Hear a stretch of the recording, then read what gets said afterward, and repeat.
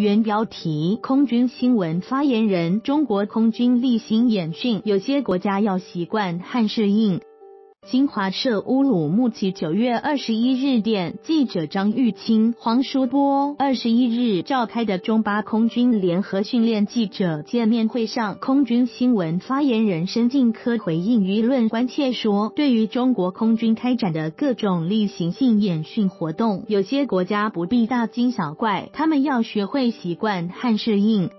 中国空军近年来深入持续开展实战化训练，演训规模越来越大，涉及地域越来越广，飞跃频次越来越多，引起国外一些媒体的关注和猜测。申进科说，组织军事演训活动是世界各国军队的通行做法，每个国家的军队要提升战斗力，担当起保卫国家安全、维护国家利益的使命，都要经过严格的实战训练，都要加强国。际交流合作要用正常的心态来看待。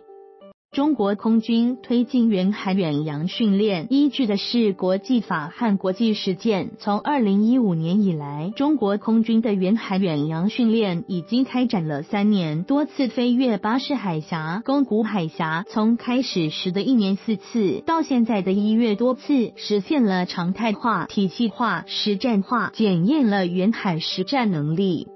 申进科说，当今世界没有哪个国家能够独立成功应对各种安全挑战，持续有效的跨国安全合作势在必行。近几年，中国空军不断走出国门，与外国空军开展了一系列联演、联训和其他军事交流活动，在相互切磋、相互交流中学习借鉴了外军经验，提升了部队实战化训练水平。他表示，中国空军要不断扩大与世界各国空军合作的范围和领域，共同应对各种挑战与危机。